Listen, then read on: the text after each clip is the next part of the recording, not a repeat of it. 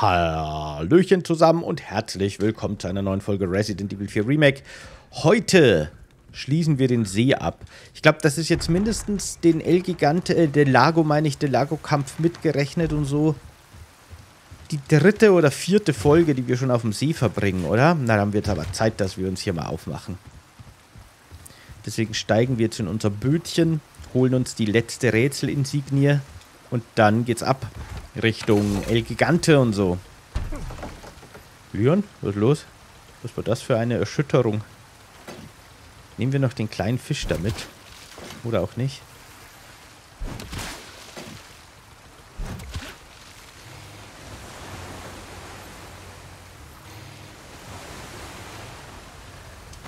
So.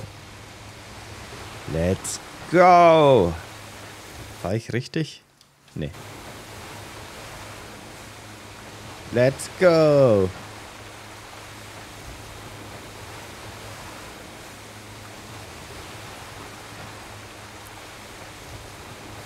Okay, ich bin echt gespannt.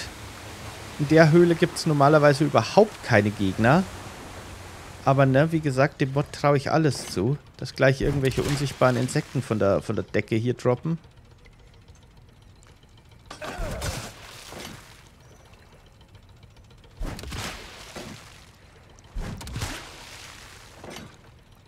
Ha, ich bin ehrlich, der letzte Wurf war reines Glück. Ich habe die nicht mal gesehen, die Forelle. Lustig. Okay, alles durchgeladen, oder? Nur für den Fall. Man weiß ja nie.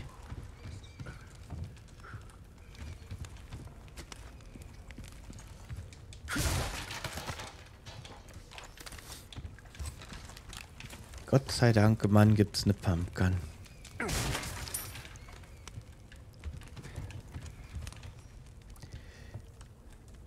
Okay, drei, drei Schlangen.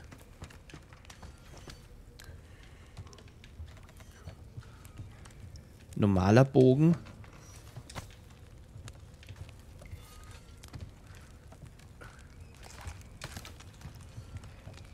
Und die heilige Dreifaltigkeit. Okay.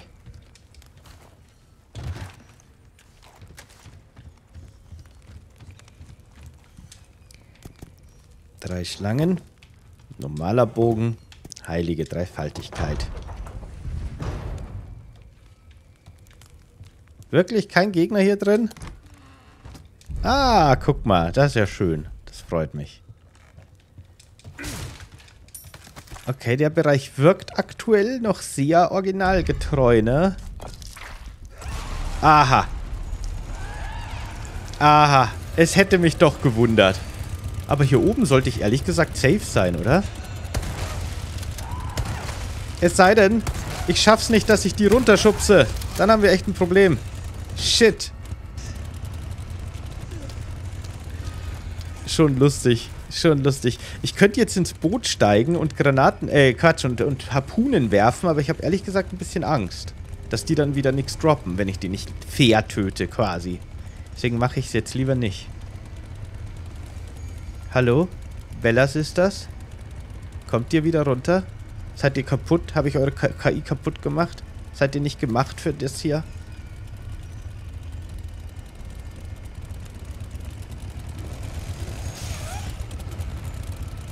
Ich glaube, sie sind kaputt. Naja, okay. So viel zum fairen Kampf, ne? Aber was soll ich machen? Ich kenne sicher nicht da hoch.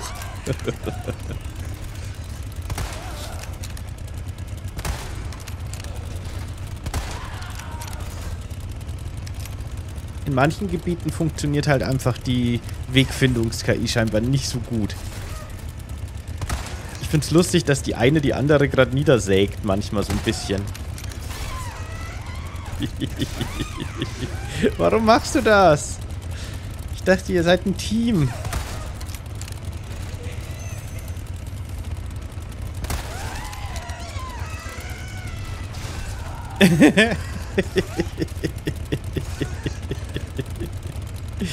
äh.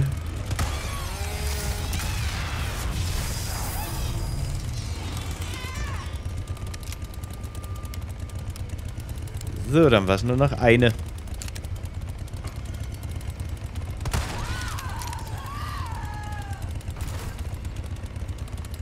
Na? Jetzt ist sie wirklich kaputt.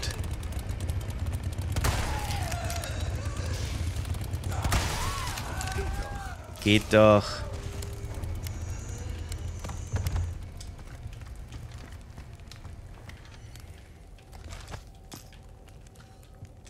Oh, köstliche Edelsteine. So, cool. Das war doch mal was. ich hab's mir gedacht, ey. Ich hab's mir so gedacht dass der Mod uns nicht einfach so mit dem Schatz gehen lässt. Das war ziemlich klar. Aber dass er gleich wieder zwei Bella Sisters uns entgegenwirft. Ah ja, so ist das eben. Oh, ich dachte schon, es ist ein Goldbahn und dann waren es wieder irgendwie fünf Schuss Pistole. Naja. Kannst du nichts machen. Okay, sie Popesi. Let's go. Auf zum Atem. Wir haben alles, was wir brauchen. Doch noch lange nicht genug.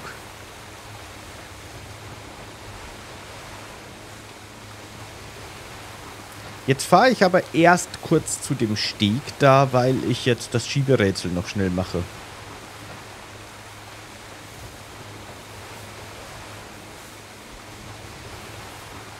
Weil ich weiß wieder nicht, ne? Ich, ich ich weiß nicht, ob uns nicht wieder irgendwas in der Höhle mit dem letzten Rätsel erwartet. Ich musste, ich, ich war kurz zu leise, weil ich aus dem Fenster gucken musste, wenn ein Hündchen vorbeigegangen ist. Wenn Hunde Gassi gehen, dann kann ich nicht, kann ich nicht, nicht hinschauen. Okay, jetzt passt auf. Das Lösungsrätsel ist, wenn man es weiß, super einfach. Man muss nur in der richtigen Reihenfolge. Ja, genau. Das ist es nämlich schon. Götze. Götze, George. Okay. Ja, schön. Ihr wisst ja was, ich gehe kurz zum Händler und speichern. Ich weiß, ich gehe viel zu oft zum Händler und speichere, aber ich mag den Kerl einfach und ich vermisse ihn. Wenn ich so ein bisschen auf Abenteuerjagd bin und so, dann kommt schon immer so eine Sehnsucht nach dem Händler auf. Da muss man manchmal, muss ich einfach kurz vorbeischauen und Hallo sagen. Händler, ich hab gar nichts für dich außer eine Götzenstatue. Und wahrscheinlich werde ich nichts kaufen, aber du bist mein einziger Freund. Willkommen. Oh, was kann ich dir Gutes tun? Besten Dank. Bitteschön.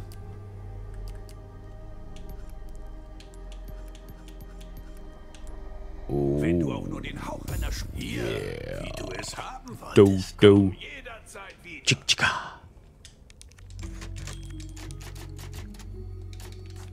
Okay. Coolio. Ah, warte mal, ich habe mir, ich habe noch nicht mal, ich meine, ich werde sie auch nur in Notfällen benutzen, ne? Aber eventuell kommt gleich so ein Notfall. Deswegen legen wir uns mal die Broken Butterfly ins Schnellauswahlmenü. Unser Inventar ist wirklich prall gefüllt, ne? Mit schönen Sachen, die das Looten schöner machen. Na, das Looten nicht schöner, aber das Kämpfen. Oh, ich hätte gern mehr Inventarerweiterungen, ohne Witz, aber die Inventarerweiterungen muss man sich auch echt hart verdienen in dem Spiel.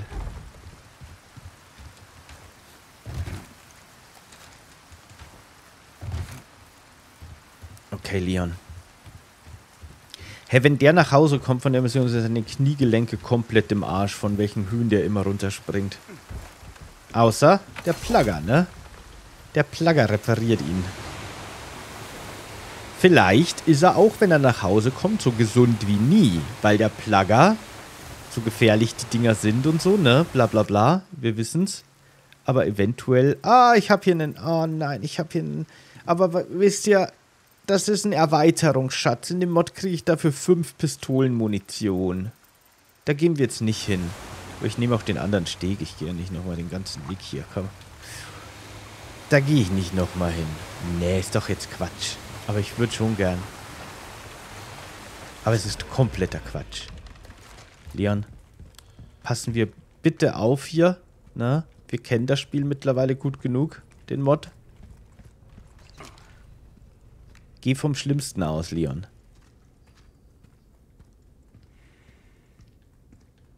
Okay. Ah, noch sind die beiden Köpfe nicht eingesetzt, ne?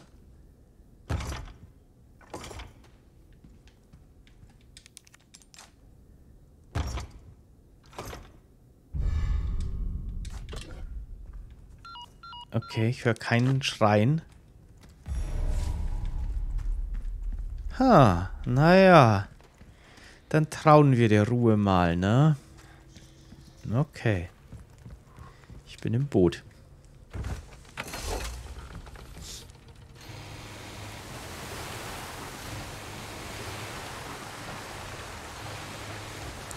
Ach nee, es funktioniert nicht mal die Tür. Okay, ich lasse es wirklich. Leon, dreh dein Boot um. Hauen wir ab.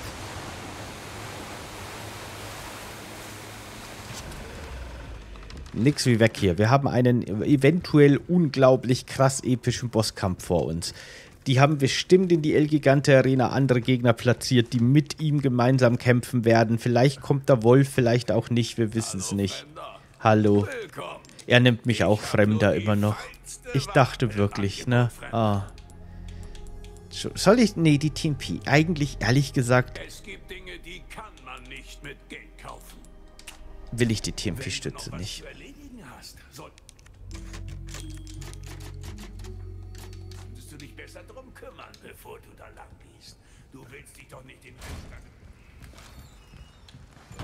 Okay. Ich bin auf alles vorbereitet.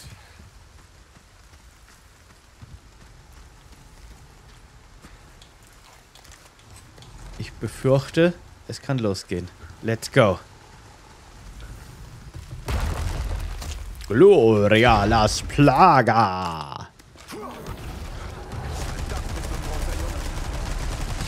Plaga. Oh ja, genau. Oh ja, genau, oder? Come on.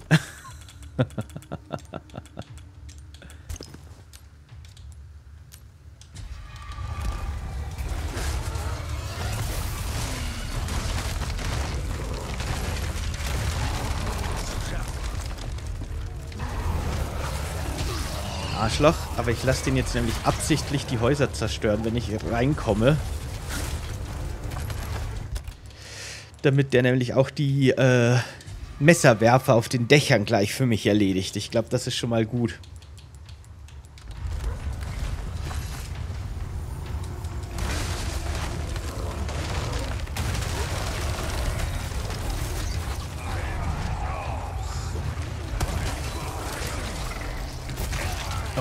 Oh, ich habe keine Blendgranaten, ey. Oh Gott, ey, die haben mich ganz schön in der, in der Mangel, unter Dauerbeschuss.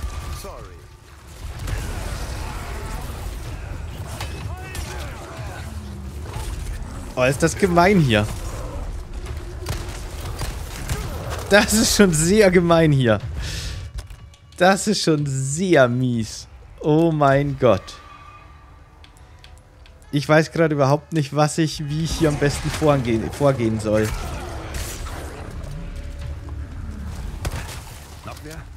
Okay, der ist schon mal tot. Eine Blendgranate hätte hier schon sehr viel geholfen jetzt. Aber gut.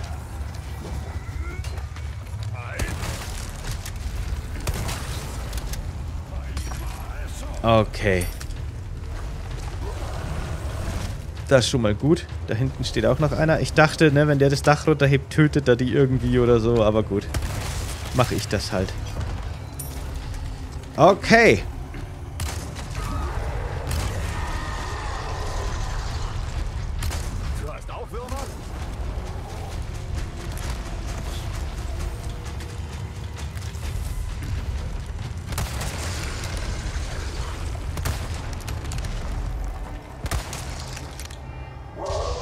Wolfi. Coolio. Hey, das ist doch der Hund. Das war gerade so unnötig und dumm, aber irgendwie auch cool. Warte mal, kämpft jetzt der Hund auch gegen andere Hunde? Ne, das ist nur gerade Zufall. Das wäre so episch.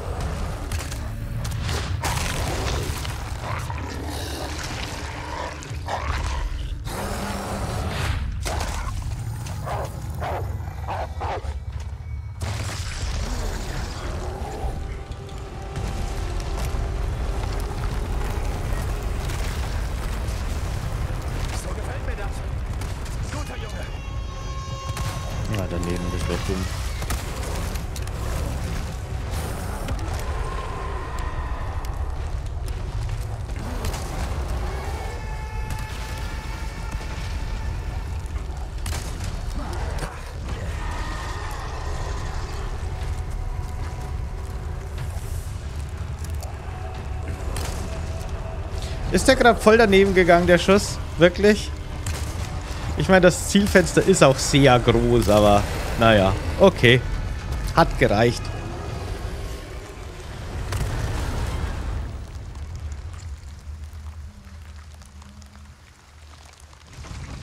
Scheiße, Mann. Beinahe wäre ich als Briefmarke geendet. Okay. Jetzt aber zur Kirche. Das war's wohl.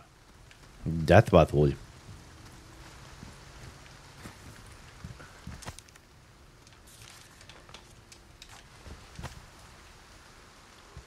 Das war aber schon eine ganz schön kleine Kammer für so einen El Gigante, ne? Der war da schon ganz schön eingepfercht. Die hätten dem echt eine komfortablere Unterkunft wenigstens geben können, ihrem angeblich, ach so, heiligen Sohn. Naja.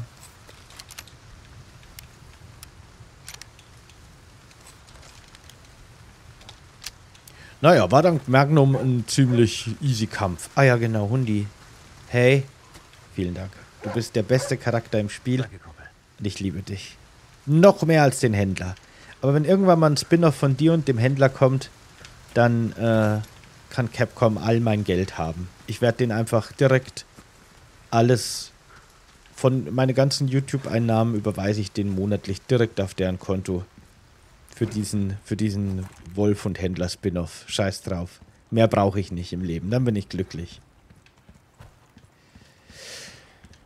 Der Händler und der Wolf. Der Händler und der Wolf.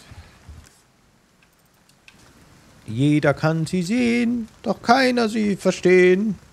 Der eine ist ein Wolf, der andere redet mit einem irischen Akzent, obwohl er irgendwie Spanier sein müsste oder so, man weiß es nicht genau. Der Händler, der Händler und der Wolf, Wolf, Wolf, Wolf, Wolf. Dem, dem.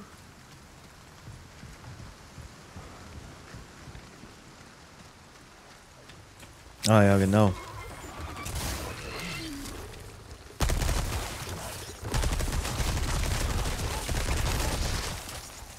Das ist im Remake echt cool gemacht, muss man sagen, ne? Weil der Wolf hier mit seiner mutierten Rückenvorschau, der kriegt eine eigene Sequenz, aber nur, wenn man nicht schon gegen den optionalen Wolf auf der kleinen Insel gekämpft hat.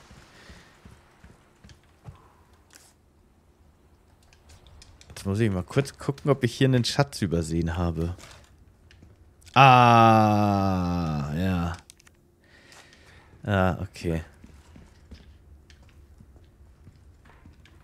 Das überspeichern wir kurz. Aber natürlich, glaube ich.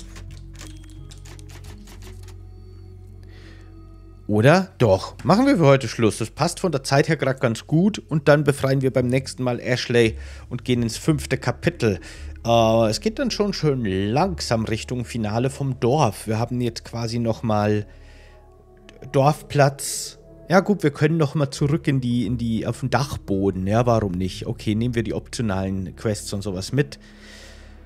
Dann haben wir schon noch ein bisschen was vor uns. Ja, haben wir schon noch ein paar Folgen Dorf auf jeden Fall. Dorf machen wir. Also ich kann euch sagen, wir machen in dem Mod definitiv den Dorfbereich zu Ende. Aber dann gucken wir mal. Aber ich, ich habe schon Bock, dass wir weitermachen. Wie sieht es bei euch aus? Schreibt mir gerne in die Kommentare. Und ich sehe es ja auch an den Klickzahlen. Aber Kommentare sind auch gut. Und bestellt bei Holy. Je mehr bei Holy bestellt, desto mehr Folgen machen wir. Danke fürs Dabeisein und bis zum nächsten Mal. Tschüss.